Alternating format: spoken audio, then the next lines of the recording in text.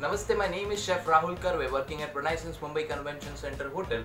And I have got a very healthy and beautiful salad recipe for you. And the name of the recipe is Japanese salad with sesame turmeric dressing. So let's have a look. Boiled spinach,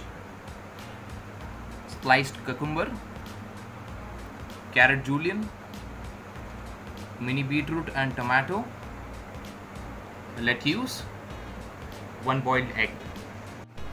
Sesame paste called as goma paste, honey, turmeric, Japanese soy sauce, Japanese mirin, and sesame oil.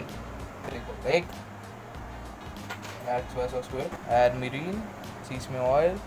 Just stir it well and soak it aside. Pressing number one.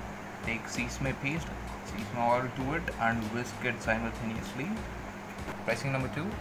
Take honey in it, turmeric, soy sauce, whisk it well.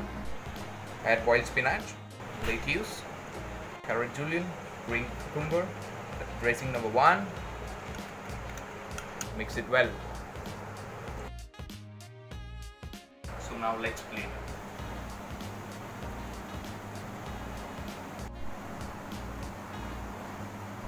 Dressing number two to be added on the top as per the requirement. And finally, adding the beetroot on the top. And the plate is done. The recipe for today, Japanese salad with sesame turmeric dressing is ready. Please try at home and let us know on our Instagram page how you loved it. Thank you.